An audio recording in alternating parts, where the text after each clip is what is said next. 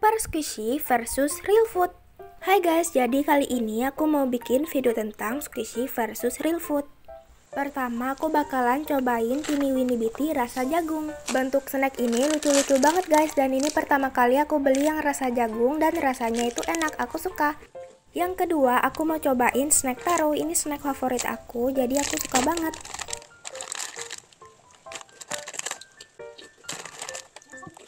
Yang ketiga, aku mau cobain snack Tinggu rasa strawberry.